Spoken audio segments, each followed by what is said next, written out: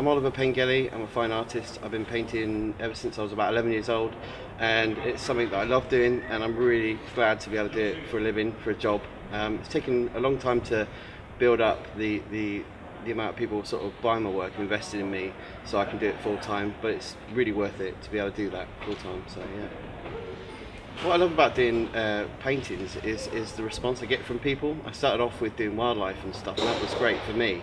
But I, I, I got more reward when I saw that paintings can actually help people and uh, enlighten them or give them some sense of hope or uh, a sense of peace. So uh, the reward is basically um, what people get from the artwork and, and how it touches their lives.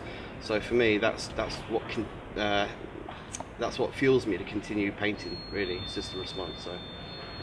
Main challenges is obviously uh, being an artist. Everyone knows you're a poor, starving artist, so it's money. But basically, getting people to part with money for original paintings, um, you have to think of other ways to to get money, uh, doing prints and cards and things like that. So you have to be a bit of a business person as well to actually generate income. Um, so that's been the hardest struggle is not only uh, thinking of things to paint and being inspired, but also to get to get people to part with money for those paintings. So it's always been a challenge. I think Emergeination is good because it, it just um, it's great to get together with other creative people. Um, you'll find that it doesn't matter what they do, whether it's music or dance, they have the same sort of problems um, in the industry and actually generate money and things like that.